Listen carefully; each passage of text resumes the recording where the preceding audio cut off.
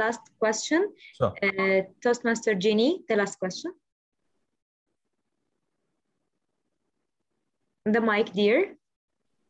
Uh, hi, can you hear me now? My, Yes. You're and I'm right. Thank you so much for the speech. I'm a big fan of reading. I committed at least one hour of reading every day. I really like your speech. And in order to promote the word of the day, trivia, I will ask you a very simple question. Sure. What is a new trivia you learned from your recent reading? Share with us a trivia you learned recently from from Awesome. your reading. Thank you. Awesome. You spoke my mind because, as I said, one of my habits is read and discuss, right? And I'm going to do the same thing. So, uh, I recently read a book uh, where the author talks about motivation. We all think that motivation is very important. We take motivation and then we take action. He says it's exactly the opposite.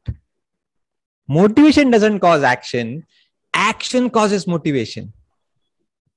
All right you you take some action and that motivates you to take further action i'll give a simple example my personal experience when do you feel great while going to the gym from home or while coming back from the gym after your workout?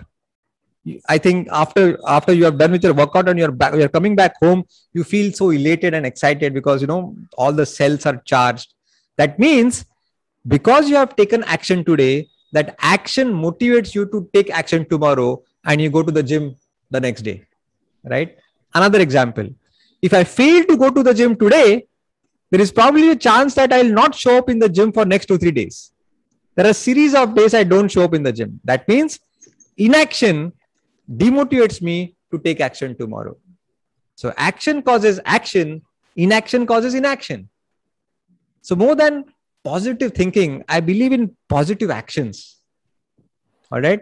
The first thing in the morning when I wake up, what am I supposed to do? To make my bed. Although it could be a stupid activity, but it gives a positive uh, message to my subconscious mind that he is an organized guy, he's a disciplined guy. And then the ripple effect is the rest of the day I'll be most probably doing some positive actions. I'll go to the terrace and exercise. I'll read a book, do my job, but if the first uh, work uh, job I do when I wake up in the morning is you know scroll those news feeds from Instagram, there is a high chance that I'll binge watch movies on Netflix and eat something unhealthy. So see, negative action will you know uh, lead to more negative actions. Positive action will lead to more positive actions. Excellent. Uh, very good trivia. Welcome.